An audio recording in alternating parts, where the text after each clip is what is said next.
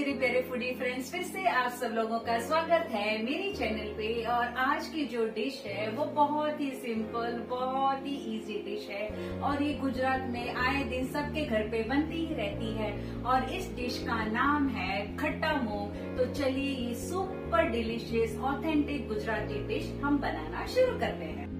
खट्टा मूंग बनाने के लिए हम लेंगे मेज़रमेंट के हिसाब से वन एंड हाफ़ कप मूंग अब इसे हम अच्छे से दो से तीन बार वॉश करके कुकर में इसकी चार से पाँच सीटी मीडियम फ्लेम पे बजाएँगे।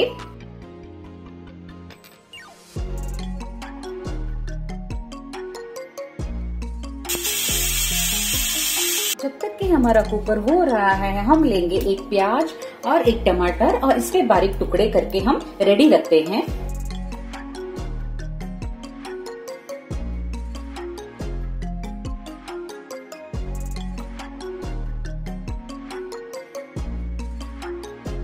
लीजिए दोस्तों, प्याज और टोमेटो बारीक काट के रेडी हो चुका है। अब इसको रखते हैं साइड में और लेते हैं हम लहसन और अदरक। तो यहाँ पे मैंने मीडियम साइज़ की पाँच कली लहसन की ली है और एक छोटा सा टुकड़ा मैंने लिया है अदरक का। अब इसे हम अच्छे से कूट के रेडी करते हैं।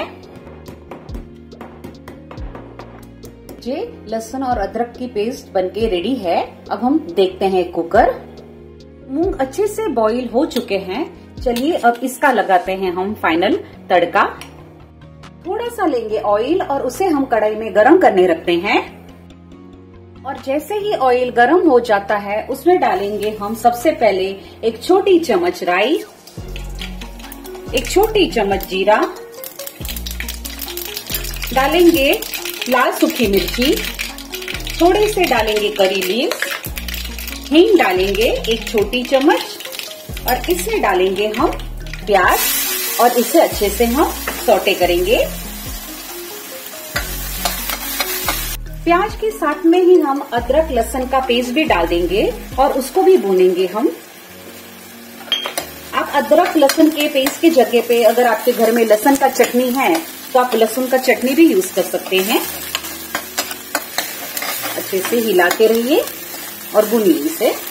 जैसे ही प्याज का, अदरक, लहसन का कच्चापन चला जाता है, इसमें हम ऐड करेंगे बारीक कटे हुए टोमेटो। और इसे भी हम थोड़ी देर के लिए पकाएँगे। अब इसमें हम बारी बारी से सब मसाले ऐड करेंगे, जिसमें सबसे पहले हम ऐड करेंगे एक छोटी चम्मच हल्दी पाउडर, तीन छोटी चम्मच लाल मिर्ची पाउडर,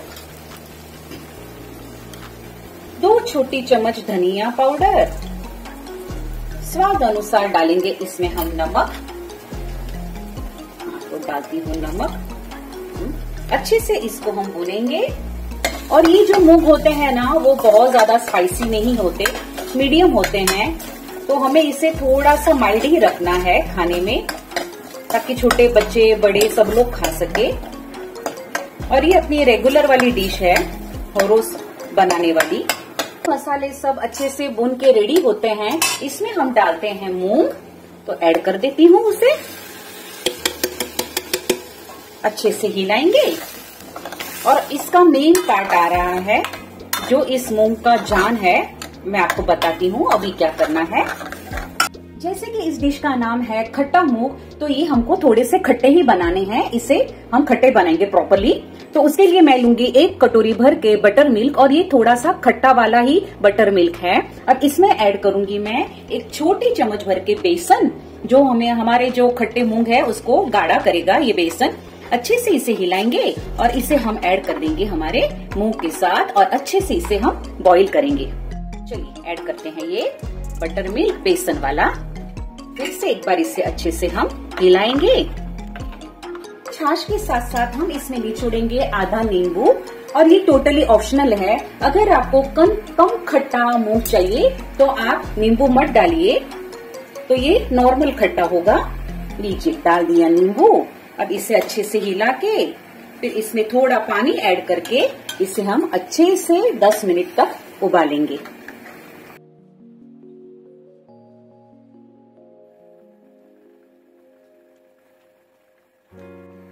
ये देखिए फ्रेंड्स मूंग अच्छे से बॉईल हो चुके हैं और अच्छे से सभी मसाले इसमें मिक्स हो चुके हैं और इवन ये गाढ़े भी हो चुके हैं। तो अब हम गैस का फ्लेम करेंगे ऑफ़ और इसमें डालेंगे हम ढेर सारा धनिया गार्निशिंग के लिए। और धनिया टेस्ट में बहुत ही अच्छा लगता है सभी सब्ज़ी में, सभी दाल में। तो अब इसे करेंगे हम मिक्स अच्छे से। देखिए, मैं आपको इसको नज़दीक से दिखाती हूँ। थोड़ा सा कितना मस्त बना है। यम। अब इसे हम निकालेंगे सर्विंग प्लेट में।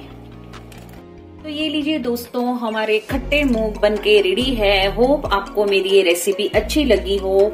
मिलती हूँ आप सबसे एक नए वीडियो के साथ। तब तक के लिए stay blessed stay healthy and stay happy and bye